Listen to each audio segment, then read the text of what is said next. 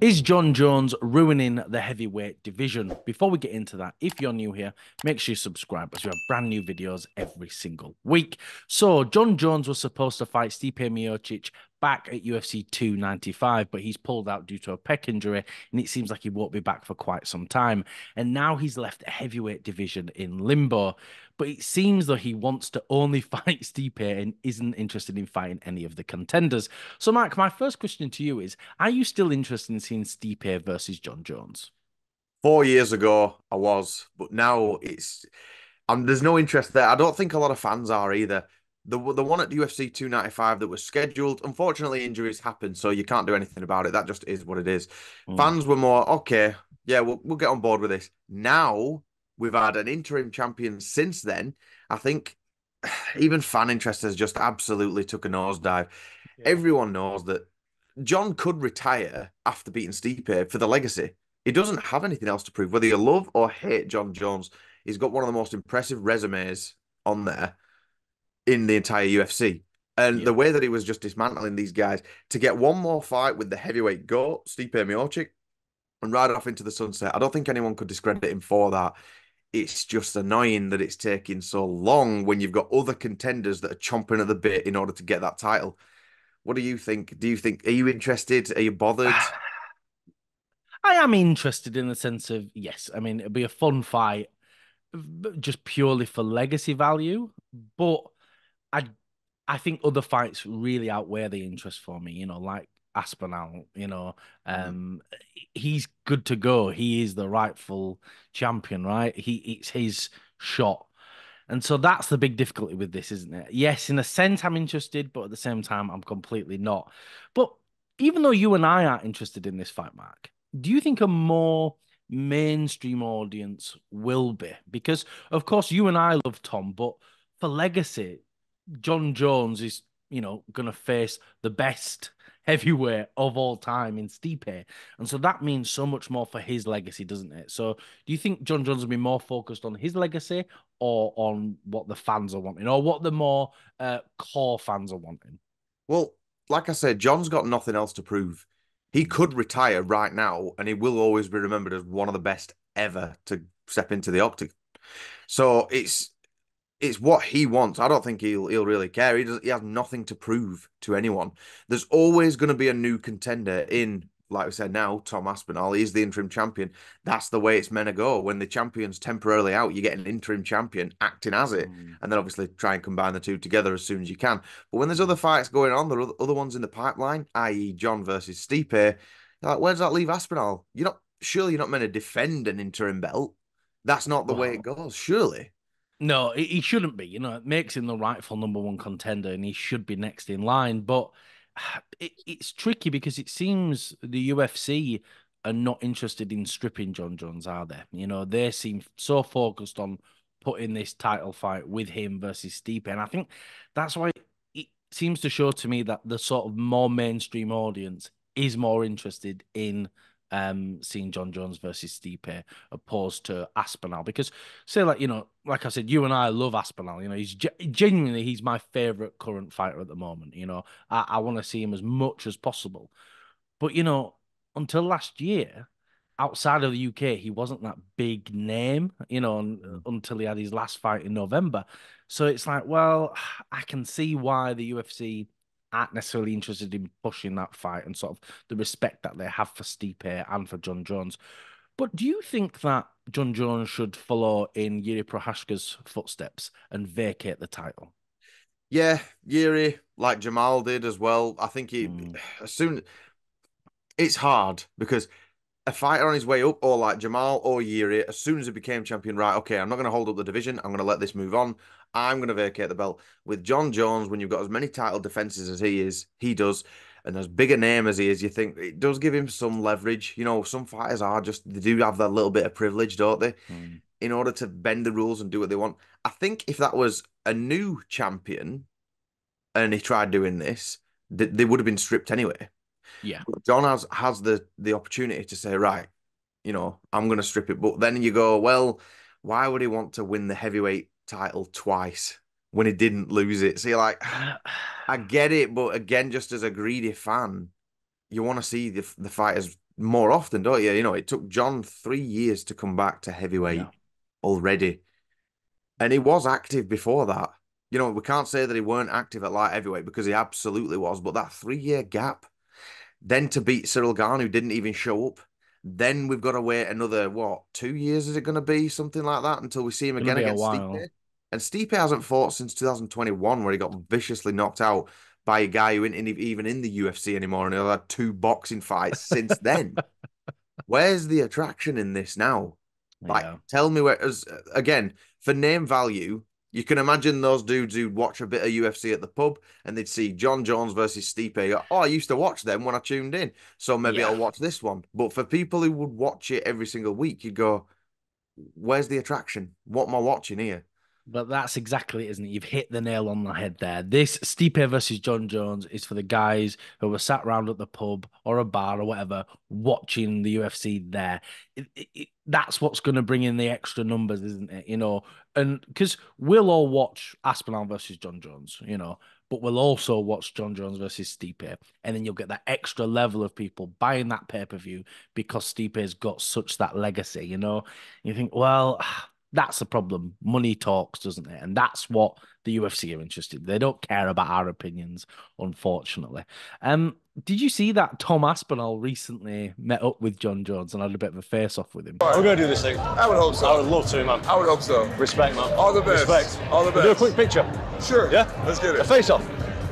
No, no, Just no. a... No, no, okay. No. No, no problem. No problem. No problem. He just looked like an absolute fan, didn't he? He I really did.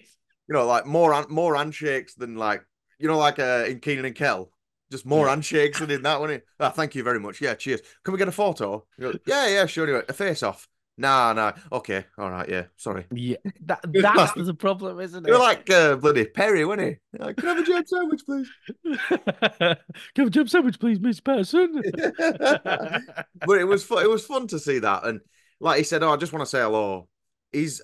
I still think that Tom doesn't know just how close he is to being regarded as one of the best heavyweights. I mean, in our eyes, is he did that on his debut. In our Oh, eyes, in our is. The second he stepped in the octagon. but I like you know before, even a couple of fights ago, in his post-fight interview, he said, "Jon Jones knows I exist." You're like, Yeah. and now you're the interim interim champion, you know, and and posing, I believe, to be his biggest threat. A lot of people, the 100%. ones who say, you know, oh, Tom don't have anything that John hasn't seen before, ignore them. I don't know what they're talking about. I know about about six foot five pounds and, and this big all this muscle.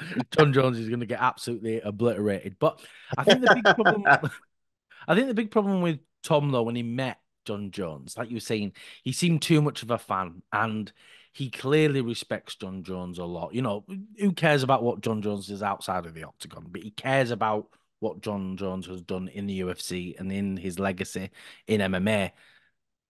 But Tom needs to stop respecting. He should have took his opportunity there. Should have gone up, right, John? Nice to meet you. Let's get a photo. And he should have just turned around and did a face off with him there and then. Don't ask him for one. Do it. Get in Jon Jones's face. Make this clear who you are. You're there to knock him out and take his title. Don't give him any other option. Take that opportunity, Tom. Don't This it away. this sounds like a, a wrestling promo. You're like, like a Randy Orton. I just want a picture, and then next minute oh, RKO out of nowhere, straight away. That's it. And then he goes over him with the belt like this. That's exactly what you want. Poetry. I do. I do What? want that though. I do. I- And Heel think- turn is what you want, Dwain. yeah, heel turn from Tom. Yeah, and you just come out, smash him over with a steel chair. But but the issue is, because it doesn't make look, Tom look weak because he's not. You know, he's this big, bloody, massive bloke. But it made him look like a fan, and he shouldn't be a fan. He should be a fighter, and he's going to take it off him. He needs to be a bit firmer with it. But you know, what do I bloody know? You know, Tom Aspinall's the interim champion. I'm just some fat guy talking about him on the internet. You know. We're allowed to, though. That's what fans are allowed Exactly. to do. Yeah, hundred percent. But do you think, Mark, we'll ever get to see Jon Jones versus Tom Aspinall, or do you think that John's after he defeats um Stipe, he's going to just ride off into the sunset? I don't think we're ever going to see it.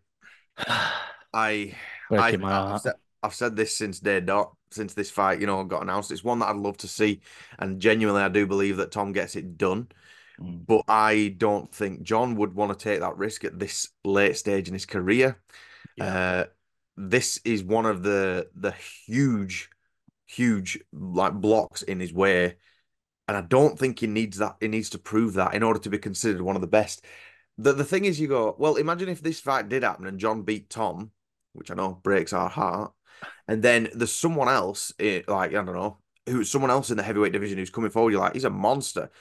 There's always going to be that new contender, so there's never going to be a good time for John to just retire and for everyone to be happy going, yep, he cleaned out the division, so he can he can just go. You know, there's never going to be a good time for him to do that. If he wants to, obviously it's his prerogative. I personally think that we should just forget about Stipe now, um, and and just go straight for this fight. But absolutely, it's not going to happen. I'll bet my No, bot. well, I think you're probably right, and it and it does pay me to say it because obviously I'd love to see Aspinall versus Jon Jones. I think that has potential to be one of the biggest fights of all time. I'm I'm talking Khabib Conor levels. I think it's genuinely could be that big.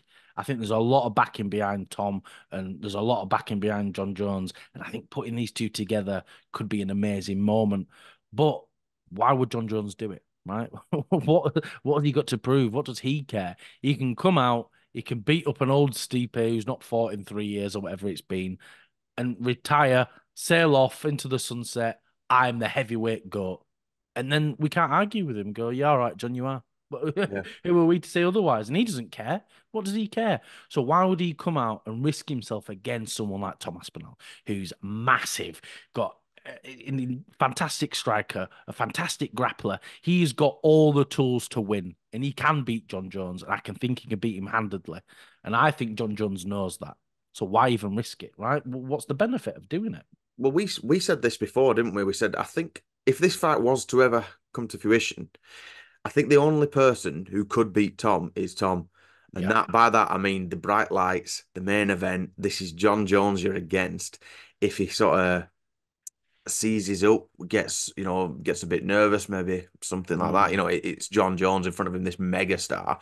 I think Yeah. that's the only way they can get beat. But skill wise, I think John's slowed down a hell of a lot recently. You know, like you look at his last couple of performances at the light heavyweight division, they weren't He dominating. looked, he looked clunky, didn't he? He looked his movements looked laboured, and I know it's hard to tell with like the last fight he had with Gane, but he did look a lot slower than normal. He didn't seem to be as fast as he was. Um, but I think going back to your point, then I think that's the problem, isn't it? The only person who could beat Tom is Tom, and I think that's the issue with Tom being a big fan of Jon Jones. I think he's going to come out and respect him too much, and that's the thing. You know, it, you know, with martial arts, there does need to be that sense of respect there, but this is a combat sport. He needs to come out and he needs to just dominate him. Forget all this. It's not Jon Jones. It's just another man across the octagon, and you're going to take the gold away from him. That's all he needs to look at it. But it's harder to say that, isn't it? You know, when you're face to face with one of your heroes, it's tricky, isn't it? What yeah, do. is tough. But like you said, I'd, be- I'd like it if he just dropped all this respectful manner and then just went in there and mm. made his face lasagna. but like another fight that seems to be sort of knocking around, or one that Tom seemed to want, was fighting Stipe for the interim title. Do you think that's a fight you'd be interested in, Stipe versus Tom? No, I think that you didn't even need to answer that long pause. I thought, oh no, Mark's not interested. I just, I just think it, it. I think Stipe's day is over, and I mean this in the most respectful way as well, because Stipe, the names that are on his his resume are ridiculous as well. Oh, but you're forgetting that these we these were quite a while ago now, Mm. and as much as I do like Stipe, I just I just think Father Time is creeping up, and against a young bull like Tom, I, I just don't think it's going to be a match. You know, um, No. I'm not. I'm absolutely not questioning Stipe's chin because he's in there again. You know, the people who's knocked him out, they are monsters. But in that sense of like, you know, why why can't Tom knock him out? And why would he want to? Again, one of his heroes. Why would he want to do this? I think I'm surprised that Stipe is still on the actual active roster. He should just go off, do his firefighting. You know, it's fantastic for him. Um, and be remembered as what what his legacy was. You know, uh, one of the all-time greats of all time, like of, of the heavyweight division. You know, he's got two wins over DC. You look at the other names on his list, like Overeem, Doom, all these other people. Yeah. Ngannou, he's even beaten Ngannou in the past, hasn't he? Uh, so what else does he have to prove as well himself? Unless is he's at the point, same with Jon Jones, where he could just take however many years off like he is doing, and he can come back for a title shot, and most of the fans will just go, okay. Yeah. But I'm I'm more greedy and I'm more tore the line for this. Not that it matters what I think. Again, I'm just some fat guy on the internet, so it doesn't matter what I. What about you? Yeah. Are you bothered for this? Um, in some ways, yes. I, I think, I think if you really want to push Stipe versus Jon Jones, do this fight. Do Aspinall versus Stipe because if Stipe comes out and he beats Aspinall, then great. Well, not for me, obviously. I'll cry my little eyes out, but mm. great for the UFC. You can push that narrative even more. Look how good Stipe is. Now we've got a real fight between him and Jon Jones. And if Tom comes out and he absolutely mullers Stipe, then it proves the point that we never needed to see Jon Jones versus Stipe anyway. So then you're just pushing forward everything you need. So I think Tom versus Stipe would be a great fight. I mean, not for Stipe, he'll get absolutely battered, but it'll be a great fight for the UFC, and you can really move that heavyweight division forward. Because yeah, it's not Jon Jones's fault he's injured, you know, and he can't he can't just come back. You know, he does have to heal up. That's you know, unfortunately, that's the way it works. So rather than waiting around, let's get this division moving. We've got two guys ready to go. Do it. Why are we waiting, right? Yeah, and I do agree with you in that sense because, like I said earlier, the whole idea of an interim belt is that you're next in line. But if we are Yeah. bending the rules for certain people, well, why not bend the rules in the in the sense of the interim title and make Mm. Stipe versus Tom then? But you've convinced me almost there, just in that sense of, well, why don't, why don't we keep this going then? This is a heavyweight super fight whilst the champion's away. Stipe ain't injured. He actually trained for that fight. He, he didn't pull out. You know, he didn't get injured. Tom, he's pretty much ready to go as well. But then there's talk of him fighting other people, and you say. "Where's Stipe then? Is he just is he just not going to fight? Is he just waiting out for Jon Jones?" There's too many what ifs and coulda, woulda, shouldas in the heavyweight division for me at the moment, which is a shame because it's it's always been one of my favorite divisions, just Yeah. because of the heavy hitters in there Yeah. and the characters, and it's becoming so much more well-rounded skill-wise that it's it's got it's attracting a lot more eyes to it. You've got absolute monsters in there, but with silly stuff like this, I think it's really extinguishing that fire before it gets burning properly. You know, do you understand what I mean?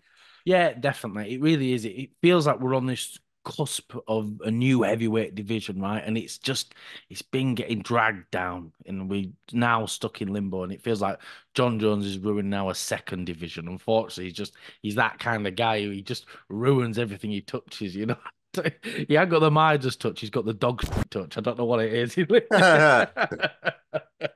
but there are other options for Tom as well. You know, Curtis Blaydes. You're all right there, man. yeah. I mean, you, when you said, "Oh, oh, he just absolutely ruins everything," he's not Frank Spencer. Have you got a glass? You cheer yourself out. You know, just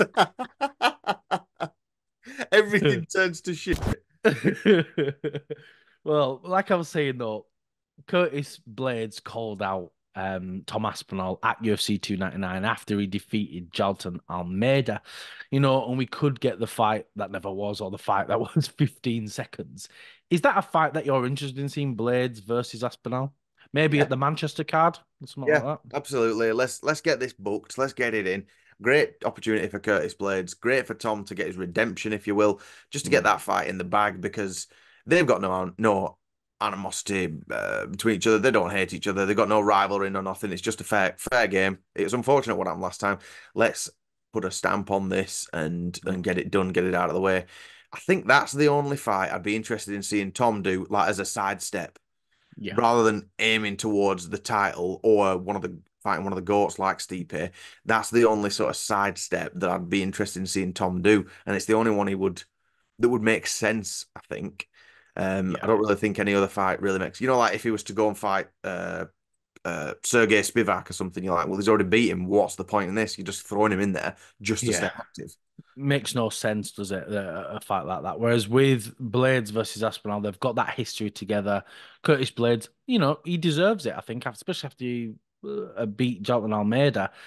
But the problem is, it's like, well, it's kind of, you know, counter opposite of what I've just said. Like, oh, why is Jon Jones taking this risk? It don't make any sense. Why should Tom take this risk as well? Tom is next in line. If Tom just waits this out, he'll get a title shot. But he could risk it and put it all on the line against Curtis Blaydes. And I think that just shows what a warrior is, like a come true fighter. He's not gonna just sit around and wait and hope that Jon Jones will be ready to fight him. He's got to keep moving. He's got to keep active. So I'm glad that he's looking at doing a fight like this. Um, and then there's it is good, but I, sorry, man. I, I always I always no, no. think like with with these opportunities to wait, I'm always of the understanding that you know careers are very short. Mm. Anyway, and the divisions move on. It's happened in other divisions. Do you remember, you know, Colby Covington waited for almost two years for a title shot for an absolute poor performance. Ring rust is real Awful. as well.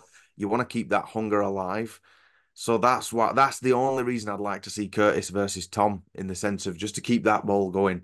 If I mean Curtis could do it as well. Curtis is a great fighter. I mean, I don't think he will, but it could do. You oh, know, yeah, he could. You know, so really could. He... It's a great opportunity for a decent fight, and exactly like you said, put him on the headline of another Manchester card or something. Look at the look at the revenue that happened a couple of years ago when he was against uh, Volkov. It was it was insane, insane yeah. card, fantastic. And I think they did another one in about a month later or something, didn't they? Something like that.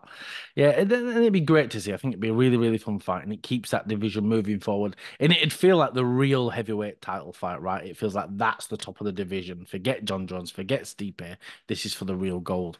Um, but then there's also someone else chomping out at the bit to fight Tom Aspinall. Ciryl Gane, he's the highest ranked heavyweight coming off a win. Do you think he should step up and fight Tom instead of someone like Curtis Blaydes? No, absolutely not. I, I think yeah. we've, we've we've said this before. Look, Tom I think was calling out Ciryl before, but Ciryl was heading for a title shot. Now he got beat by Francis. Fair enough. There's no shame in that. Uh, and then when he when he eventually, you know, he beat Tai Tuivasa, went up against Jon Jones. Jon Jones froze, did nothing, and then then he beat Serghei Spivac. Mm-hmm. Now he's all of a sudden calling for a title shot with Tom, and a fight with Tom. You're like, so now the roles are reversed. You don't want to give that opportunity back. So why would Tom? Again, that's another step back, I think.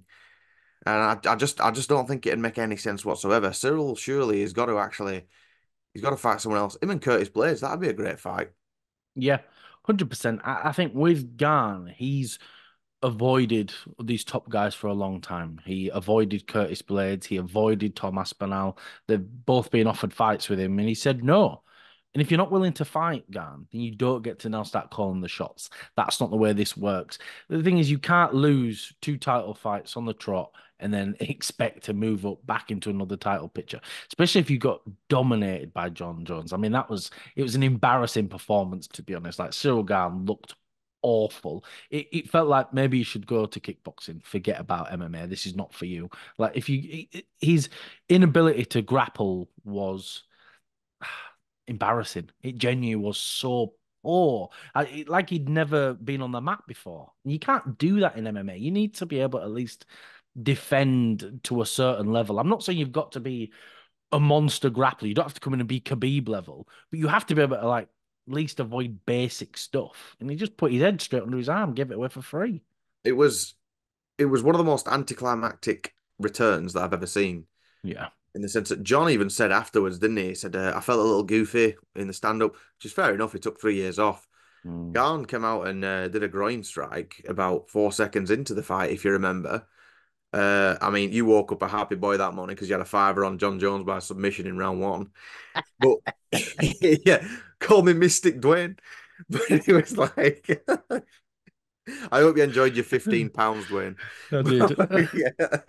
But like, so he did, and obviously that fight ended, and it was just that's it. That's the return that we've been, we've been waiting for. Ciryl really didn't show up, and I don't think you can, you really get many opportunities for a second and a third go at that level. How many more chances do you think you're going to get? So you had that poor loss against John where he didn't even show up. Mm. And then you've gone and beat Serghei Spivac by amethyst him around, around side at lug. You're like, how does that put you in line for a title shot? Makes you no had yours against Francis, which was a great fight. It was competitive. Then obviously it happened with John. It just it, it made no sense to me. Yeah, I agree. He does not deserve to be in a title picture. And I think if he is going to do that, he's going to have to fight the real contenders, you know, make him fight Pavlovich, Blaydes, Jailton Almeida. Then, after he's beat some of those guys, then you can look at him moving back into a title picture. You don't lose two title fights and then get another. It's not the way it works. And just sort of, I think I get why Gane's avoiding these guys because it's his inability to grapple, isn't it? You know, he knows he's not well rounded enough to fight people like Curtis Blaydes and Jailton Almeida. It's too much of a risk for him.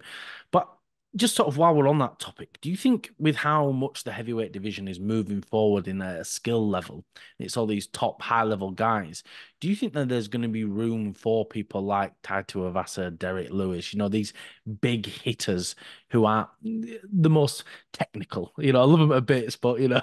I think at the moment they've still got the place on the roster. Yeah. But the the skill difference in the very top of the division compared to like the unranked heavyweights is so it's it's just worlds apart. Looks like a completely different organization.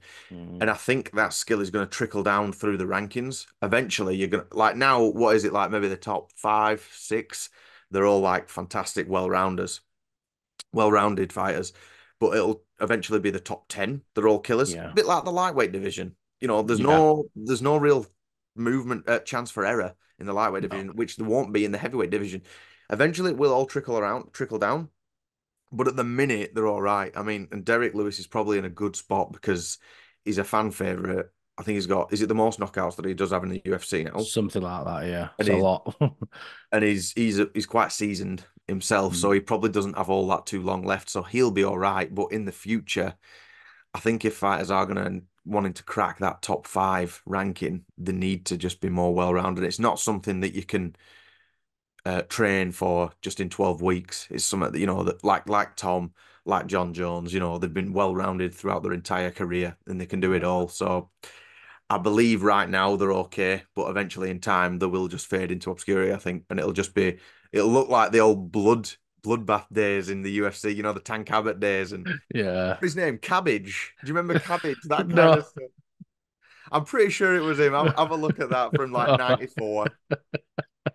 And that's the thing, though, isn't it? With the heavyweight division, because it's getting so skilled, it, there's getting less and less room for people like Tai Tuivasa, Derrick Lewis. Like, look at Ty against Tybura, you know, he got taken down, and it's like he'd never touched the mat before in his life. And it's like, how have you got this far? But I think what will keep these big guys alive in this division, I think even for a long time, is that KO power. I think they're so big and so strong in the heavyweight division if you hesitate for a second, your lights are out. Like, look at how good Tom Aspinall is, right? He's almost a perfect fighter. He's well rounded. He's a great striker, fantastic grappler, incredibly good looking. Uh, and then, Yeah, yeah, yeah. I'm gonna say we need to rename this video just the Tom Aspinall Appreciation Society. but how skilled he is as a fighter. You could put him against Derrick Lewis next week. He gets caught and he gets absolutely knocked out flat on his ass. And that's not that's not oh, it could maybe happen. That could happen very, Yeah. very easily. And that's what's so dangerous about the heavyweight division. It's what makes it so exciting in a way. But you know, either way though, there's a lot of options for this division. And even though it's in limbo, we're getting into that new era of heavyweights. And I think it's a division you've got to keep eye on. Thank you for watching. If you can like, comment, and subscribe, it really does help us out.